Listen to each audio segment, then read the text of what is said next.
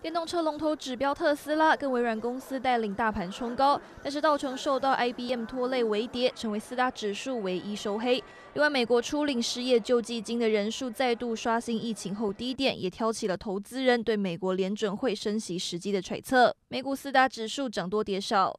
道琼指数小跌六点二六点，收在三万五千六百零三点零八点。纳斯达克上涨九十四点零二点，收在一万五千两百一十五点七零点。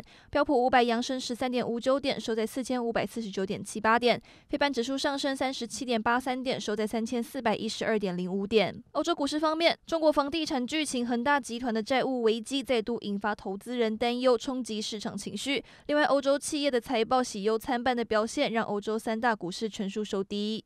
英国股市下滑三十二点八零点，收在七千一百九十点三零点。德国股市滑跌五十点三六点，收在一万五千四百七十二点五六点。法国股市下滑十九点四四点，以六千六百八十六点一七点作收。以上就是今天的欧美股动态。从台湾视角观察全球，掌握瞬息万变的世界。我是何荣，每周三、周六晚间九点，我在环宇全世界。